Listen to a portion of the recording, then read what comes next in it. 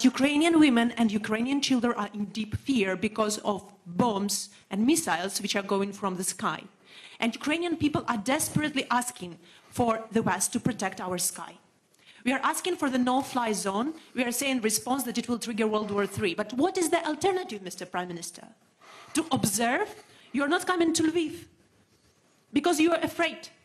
Because NATO is not willing to defend. Because NATO is afraid of the World War III. But it is already started.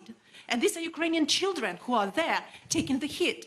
I see that my family members, that my team members are saying that we are crying. We don't have where to run. Well, This is what is happening, Prime Minister.